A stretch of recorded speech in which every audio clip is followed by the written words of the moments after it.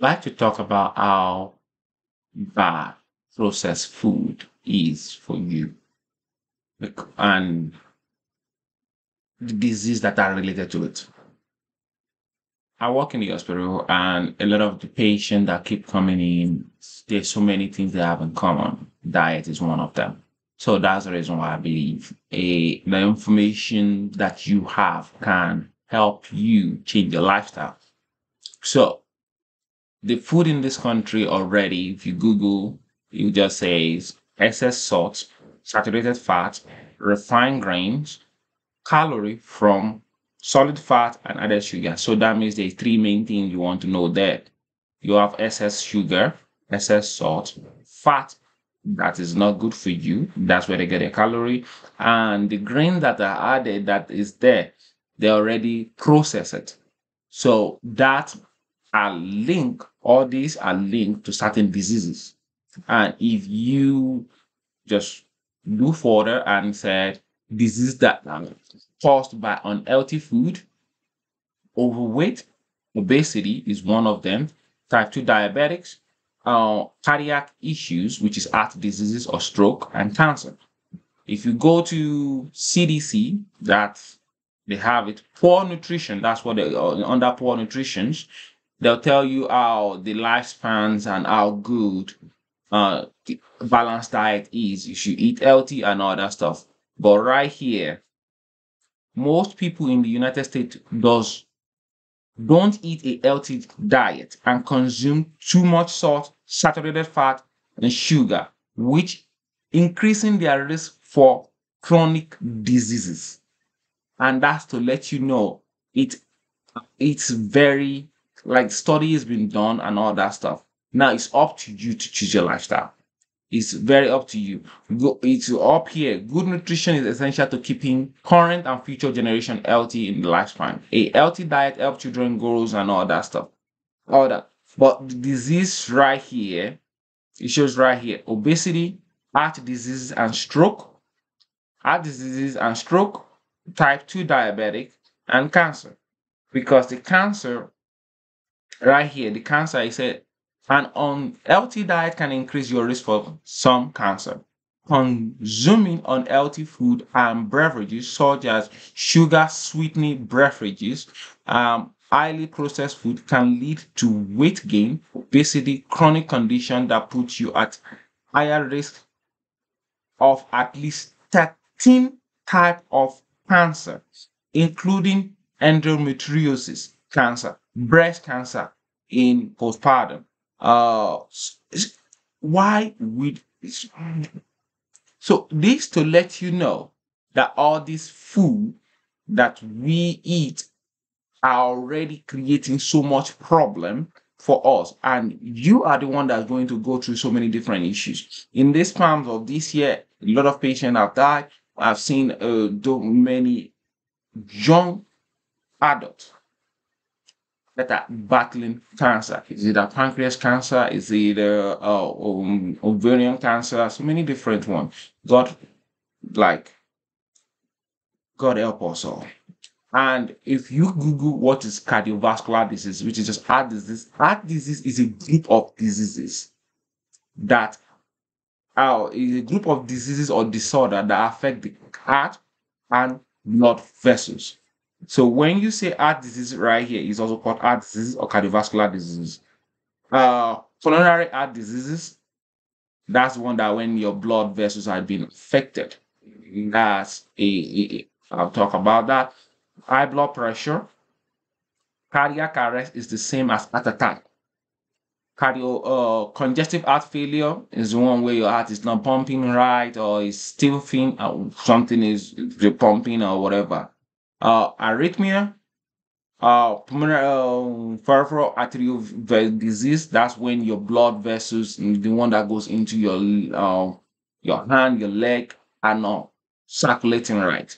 Stroke, congestive heart dis- uh, diseases. So all these are some food are linked to it because if you eat a food heavily loaded with fat uh, you like your fried chickens, you like uh, your fried food, your fast food, your processed food. It creates so much. This is all the image of so many different things. And they will put you on medicine because they will help you manage it instead of you changing your lifestyle so that you can be less and less on medicine because this medicine every single one of them also have side effects even common Tylenol they have side effects. And you want to one thing you want to know because the food are linked to cardiovascular diseases if you go to CDC and ask what are the what is the mortality rate, what is causing people to be dying? Almost every year. Death and mortality rate. The life expectancy of people in US is 76.4. Unfortunately, a lot of patients are I've some of them doesn't even reach 70 or some even doesn't reach 60. Unfortunately. But as working in the hospital, it's just you just have to save the um, leave it to God. Now, number one is heart diseases, that is cardiovascular diseases. It kills most people in the country every year. Followed by cancer. What the food we eat is linked to both of them. Now, number three, which is COVID, you can disregard that and or you can put it aside. Equal uh, or accident, that's different. Stroke, which is number f- uh, number five, is linked is also part of heart diseases, cardiovascular diseases, respiratory issues. We can leave that aside. Alzheimer's. I'll brief on that a little bit because you want to think about it from this way. This is part of cardiovascular diseases, coronary arterial stenosis. This is number one in heart diseases, is riot, coronary arterial diseases. So the stenosis is just like blocking and all that stuff. And what are the symptoms of the blockage? Blurry vision, uh, vision loss, confusion, memory loss, numbness and tingling in the part of your body. That's a problem with thinking, reasoning, memory, and speech. And what is the classic uh, symptoms of Alzheimer's?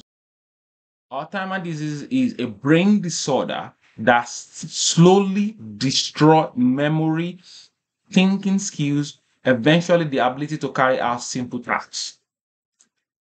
What caused this? What's the main cause of this? Is thought to be caused by abnormal buildup of protein in and around the brain cells. How do your brain that has been developed healthy and all that stuff. Start. I'm not saying junk food is cause Alzheimer's. I want you to understand that. That's not what I'm saying. But I'm saying the food you eat participates in all your overall health. That's all I'm saying. The food you eat participates in your overall health. And all these new rise in diseases and all that stuff, we have to start thinking is our food, is our diet have the right uh, is is there a link in it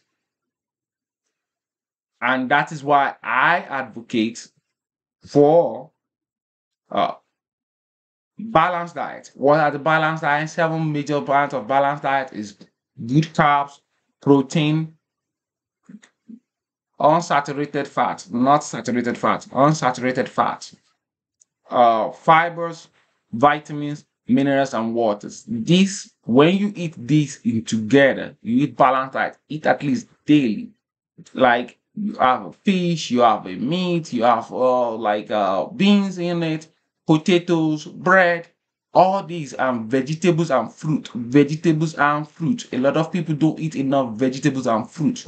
Wash day for your vegetable and fruit properly don't be eating uh, neurotoxin, the chemical they have sprays on those vegetables or on those fruit. Don't be eating them. Wash them properly, remove all those stuff out. Don't be reaching the dye that we use to dye the vegetables and fruit. Remove all those properly. This is uh, so that you can have a healthy lifestyle, a healthy life. And I believe There's been documentary that has been done. This one is on Netflix. It's done 2017. And this one is on YouTube. It's done 2008. This one is the uh, is 2018, 2012, 2023.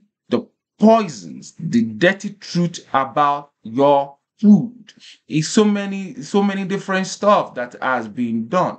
But I'm just saying, like when you come to the hospital and we're just putting you on pills, on antibiotics, so many different things, and your overall health is not healthy as well, it's not a good thing. And when you walk in the hospital and you are now giving medicine and all that stuff to children, it makes you feel some kind of way. It's just plainly sad. And all this food, beware of soda because this weak your immune system. Processed food, uh, food and drinks high in sugar, refined carbohydrates, and beverages. All these affect your overall health. Be mindful of the food you eat because they participate in your health is already on CDC, is already on everywhere. Now it's your decision because one on three are pre-diabetic in this country. I don't know why. Stay away from sugar. It's not good. That's about it. I just want to make sure you everybody is aware like this food that you eat can create certain problem in your life. And when you come, we put you on medicines and all that stuff. Thank you and have a wonderful